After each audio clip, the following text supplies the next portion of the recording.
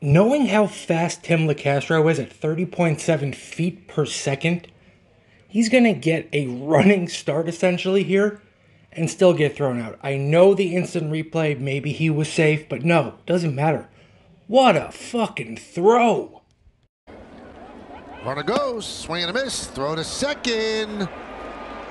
Got him. 33 of 36 lifetime before being caught there. Almost made it, just got him.